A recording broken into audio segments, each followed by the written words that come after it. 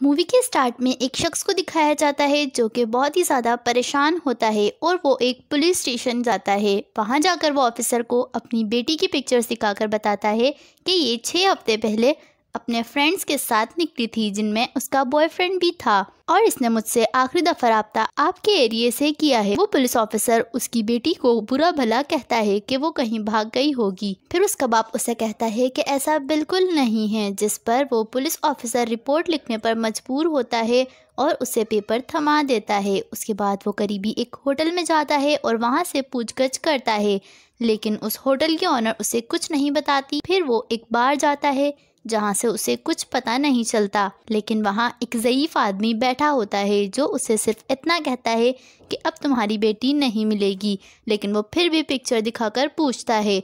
वो मुसलसल यही कहता है कि वो नहीं मिलेगी, इस पर वो वहाँ से चला जाता है। फिर छः हफ़्ते पहले एक गाड़ी वर्जीनिया की तरफ़ जाती हुई दिखाई जाती है, जिसमें कुछ दोस्त होते हैं।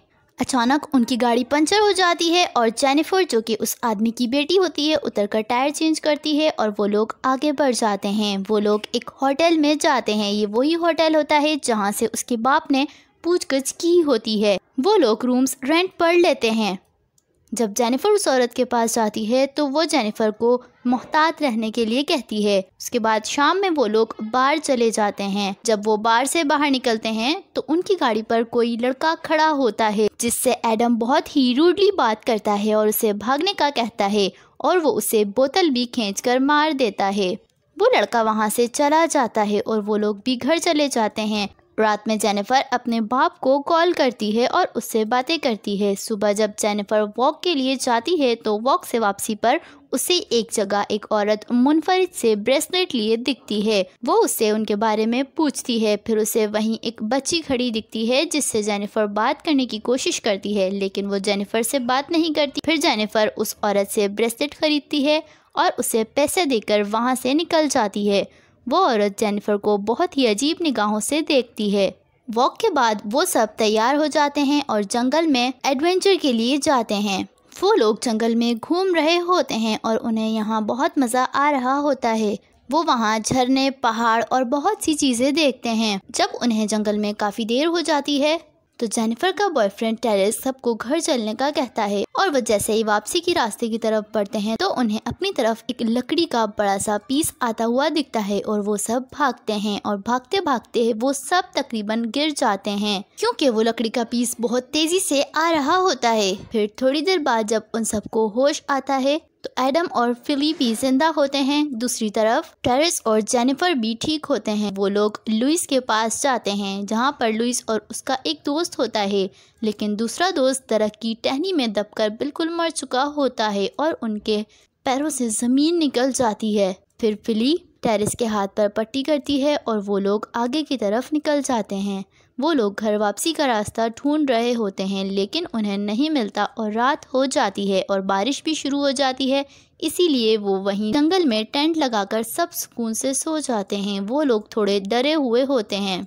रात में अचानक जेनिफर की आँख खुलती है और उसे टेंट के बाहर किसी का साया दिखाई देता है। फिर सुबह हो जाती है और जैसे ही वो लोग बाहर निकलते हैं तो फिलीम मिसिंग होती है। वो लोग उसे ढूँढने के लिए निकलते हैं। जैसे ही एडम आगे बढ़ता है, उसका पैर एक तख्ती से टकरा जाता है। वो एक कब्र की तख्ती होती है, जिसके बाद उन्हें पता चलता है कि ये लोग एक कब्रिस्तान में सो रहे थे। फिर उसके बाद वो सब फिली को ढूंढते हैं और अपने फ़ोन चेक करते हैं। उन सभी के फ़ोन गायब होते हैं, जिस पर एडम परेशान हो जाता है और फिली को ढूँढने निकल पड़ता है। वो सब उसे ढूंढ रहे होते हैं, जब भी जेनिफर को वो छोटी बच्ची दिखाई देती है और वो उसकी तरफ़ मुतवजा होती है। जब एडम आता है तो एडम उससे उसके बारे में पूछता है। वो एडम को सब बता देती है फिर एडम उसे अपने पास बुलाता है, लेकिन वो नहीं आती और वहाँ से भाग जाती है। एडम उसके पीछे भागता है उसे पकड़ने के लिए और अचानक ज़मीन पर गिर पड़ता है और जेनिफर उसे जाने का इशारा कर देती है, वो भाग जाती है। एडम उठने की कोशिश करता है तो उसे अपना पाँव एक जंजीर से बंधा महसूस होता है, जो कि खिंचने लगती है और वो एक गड्ढे में चला जाता है। उसके दोस्त परेशान हो जाते हैं। लेकिन एडम के वापस आने की कोई उम्मीद न मिलने पर वो लोग वहाँ से मूव कर जाते हैं। जब वो आगे बढ़ते हैं तो उन्हें जंगल में एक घर दिखाई देता है। वो वहाँ अंदर जाते हैं। वहाँ बहुत से बैग्स, शूज़ और यहाँ तक के मोबाइल फोन्स और ग्लासेस भी दिखाई देते हैं। उन्हें किसी की आहट महसूस होती है और वो सब छुप कर देखने लगते हैं। वो लोग देखते हैं कि जंगली लिबास में दो आदमी एडम को डंडे पर लटकाए ले जा रहे हैं। टेरेस उनके पास पहुँच जाता है और उन्हें एडम को छोड़ने का कहता है, वो एडम को नीचे पटक देते हैं। इतने में जेनिफर और लुइस भी वहाँ आ जाते हैं। वो उनसे कहते हैं कि हम सिर्फ़ इस एडम को लेकर जाएँगे, लेकिन वो उससे बहस करने लगते हैं। बहस चल रही होती है कि अचानक एडम उठता है और उनमें से एक के सर पर डंडा मारकर उसे गिरा देता है और उसके सरी सर पर खूब मारता है, हत्या कि उसका सर कुचल जाता है। उसके दोस्त उसे पकड़ लेते हैं। इतने में वहाँ फिली आ जाती है और वो सब बताती है कि मैं तो सुसु करने गई थी। तुम लोग पता नहीं कहाँ चले गए थे, जिसके बाद मैंने तुम्हें ढूंढा, लेकिन तुम वहाँ नहीं थे। फिर जेनिफर कहती है कि हमने इसके साथ गलत किया है, इसे हमने बिला वजह मारा है, जिस पर सब उस पर गुस्सा करते हैं कि ये हैवान है, ये हमें नुकसान पहुँचा रहे थे। लेकिन टेरिस उन दोनों की लड़ाई रुकवा देता है। जेनिफर अभी भी उदास होती है, वो लोग आगे बढ़ जाते हैं। लेकिन जेनिफर रास्ते में भी यही बात करती है कि हमने उसके साथ गलत किया है। इस पर फिली उसे कहती है कि वो सिर्फ़ हैवान हैं और कुछ नहीं, और वो लोग आगे चलते हैं। अचानक तरक में एक आदमी दिखाया जाता है जो कि उनके पीछे पीछे चलने लगता है और जेनिफर के पीछे से लुइस को ले जाता है। जेनिफर को जैसे ही महसूस होता है, वो घूम कर देखती है और लुइस को ढूँढने लगती है। उन्हें आसपास वही जंगली कपड़ों वाले लोग महसूस होते हैं और एडम वहाँ से बचने के लिए भागता है। फिली उसके पीछे भागती है। जेनिफर और टेरिस उन लोगों के बीच में फंस चुके होते हैं और वो लोग भी वहाँ से भागने की कोशिश करते हैं। फिली एडम के पीछे भाग रही होती है कि अचानक एक गड्ढे में गिर जाती है और उसके पूरे जिसम में लोहे की सलाखें घुस जाती हैं। वो एडम को हेल्प करने का कहती है, लेकिन एडम उसकी कोई हेल्प नहीं करता और उसे छोड़कर वहाँ से भाग जाता है। जब भी वहाँ वो जंगली आ जाता है और फिली को जान से मार देता है। एडम उन लोगों से बचने के लिए बहुत तेज़ी में भाग रहा होता है। लेकिन वो फिर से उनके जाल में अटक कर गिर जाता है और वो उसके मुँह पर बोरी चढ़ाकर उसे उठा लेते हैं। टेरिस और जेनिफर उनसे बचने के लिए एक पहाड़ की खो में चले जाते हैं, जहाँ जाकर वो सुकून का सांस लेते हैं। लेकिन अचानक कोई ऊपर से टेरिस को उठा लेता है और जेनिफर भी पकड़ी जाती है। फिर जेनिफर की फैमिली दिखाई जाती है, जो कि बिल्कुल नॉर्मल होती है, सिवाय उसके बाप के, जिसे बहुत टेंशन हो रही होती है। और वो फिर से जेनिफर को वॉइस नोट करता है। जब जेनिफर की आँखें खुलती हैं तो वो खुद को किसी कुएँ में महसूस करती है और चीखने लगती है। जब ही ऊपर से ढक्कन खुलता है और वो ब्रेसलेट वाली औरत नज़र आती है, जेनिफर उसे कहती है, मैं तुम्हें जानती हूँ, मुझे बचा लो। लेकिन वो उसे कुछ नहीं कहती। कुछ देर बाद वो जेनिफर को पानी और खाना देती है। जेनिफर खाना खाती है, उसके बाद उसे एक सीढ़ी दी जाती है, जिसके ज़रिए वो ऊपर की तरफ़ जाती है। जैसे ही जेनिफर ऊपर जाती है, उसे अपने दोस्त दिखते हैं और वो लोग उन लोगों के मुँह पर बोरी चढ़ाकर उन्हें चलने का कहते हैं और अपने साथ ले जाते हैं। ये एक टाउन होता है जहाँ पर बहुत सारे लोग मजदूरी कर रहे होते हैं। वहाँ वो छोटी बच्ची भी होती है।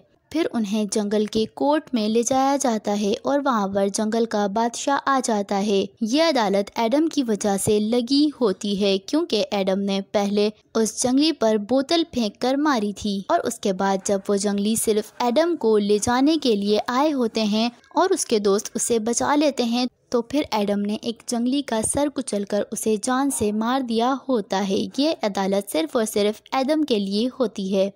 जेनिफर एडम को बचाने की कोशिश करती है कि इसने सेल्फ डिफेंस में उसे मारा था, लेकिन वहाँ का कानून बहुत सख्त था और वो लोग एडम को सज़ा देने के लिए ले जाते हैं और उसके दोस्तों को भी दिखाते हैं। उसके बाद वही डंडा जिससे एडम ने उस जंगली का सर कुचला होता है, जंगल का बादशाह उसी डंडे से एडम का सर कुचल देता है। उसके दोस्तों की चीखें निकल जाती हैं और एडम मर जाता है। उसके बाद वो लोग एडम के दोस्तों को सलाख के ज़रिए अंधा करके एक जेल में डालने वाले होते हैं। वो लोग लुइस के साथ ये कर देते हैं और लुइस को अंधा करके वो लोग उस जेल में फेंक देते हैं। लुइस दर्द के मारे बिलबिला उठता है। जब टेरिस की बारी आती है तो फ़ौरन से जेनिफर बोल पड़ती है। वो कहती है कि हम यहाँ पर लॉयल सिटीज़न बनकर रहेंगे। टेरिस आपकी बहुत हेल्प करेगा। ये हर चीज़ में आपकी हेल्प करा करेगा। और मैं भी जो आप लोग बोलेंगे वो करूँगी, जिस पर टेरिस हैरान होता है। वो लोग जेनिफर को बादशाह की बीवी बनने का कहते हैं, जिसे जेनिफर मान लेती है। और उसके बाद वो लोग वहाँ के सिटीजन्स बन जाते हैं। और वही उनकी फैमिली होती है। वो लोग टेरिस को सिपाही बना लेते हैं और फिर जेनिफर उस बादशाह की बीवी बनकर रहने लगती है। जेनिफर हार चुकी होती है और इसे ही अपनी लाइफ मान चुकी होती है। कुछ दिन बाद जेनिफर का बाप फिर से उस एरिया में आता है अपनी बेटी को ढूँढने के लिए और इस बार वो होटल में स्टे करता है। जब वो शाम के टाइम नीचे खाना खाने जाता है तो होटल की ऑनर उसके पास आती है और उसे इस इलाके के बारे में सारी बातें बता देती है। और ये बातें वहाँ खड़ा वो जयीफ सुन रहा होता है। उसके बाद वो औरत जेनिफर के बाप को किसी के पास लेकर जाती है, जो उसकी हेल्प कर सकते हैं और जेनिफर का बाप उन्हें ये काम करने के पैसे देता है। उसके बाद वो दोनों आदमी उसे जंगल में ले जाते हैं। वो आगे बढ़ रहे होते हैं कि अचानक वो दोनों आदमी उन जंगलियों के जाल में फंस मर जाते हैं। और अब जेनिफर का बाप अकेला रह जाता है और उसे इस जंगल के बारे में कुछ पता नहीं होता। वो जंगल में भटकता रहता है क्योंकि बाहर का रास्ता उसे मालूम नहीं था वो कैसे जाता।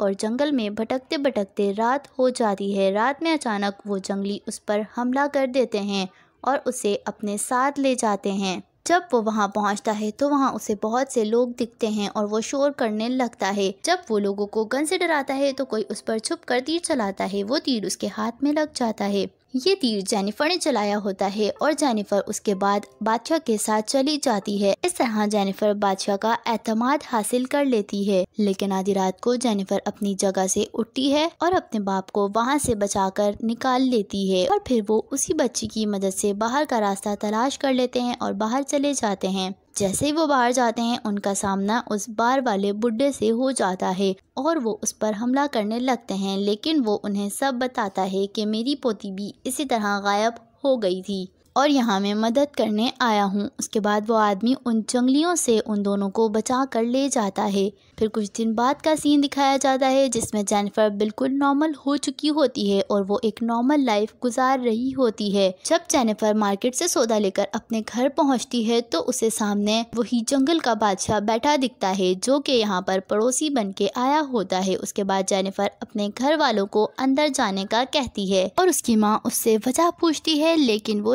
नहीं बताती। जेनिफर प्रेग्नेंट होती है और उस जंगल के बादशाह के बच्चे की माँ होती है। उसके कहने पर उसके घर वाले उठकर अंदर चले जाते हैं। उसके बाद वो उससे कहती है कि तुम मेरी फैमिली का पीछा छोड़ दो। तुम जो कहोगे वो करूँगी। फिर वो अपनी फैमिली के लिए उस जंगल के बादशाह के साथ चली जाती है और यूँ ये कहानी ख़त्म हो जाती है।